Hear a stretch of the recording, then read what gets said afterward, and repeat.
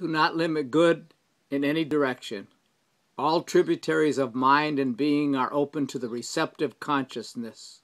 Way beyond belief, there is a certainty, a knowingness that is there in all things. We seldom call it forth, but it is the answer to all questions, the bringer of all good things.